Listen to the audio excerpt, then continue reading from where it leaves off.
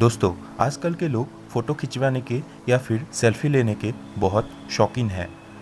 वैसे तो आजकल सभी लोगों के स्मार्टफ़ोन पे कैमरा होती ही है, जिसके ज़रिए वो लोग कभी भी एक ही क्लिक में फ़ोटो खिंचवा सकते हैं।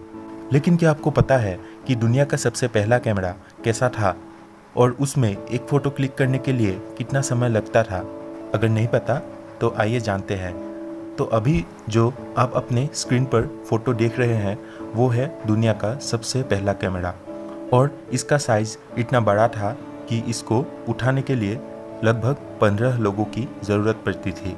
और सबसे इंटरेस्टिंग बात तो ये है कि इस कैमरे से एक फ़ोटो क्लिक करने में आठ घंटे का समय लगता था। यानी कि इस कैमरे से सिर्फ़ एक फ़ोटो खिंचवाने के लिए लोगों को इस कैमरे के सामने आठ घंटे तक लगातार एक ही पोजीशन में रहना पड़ता था।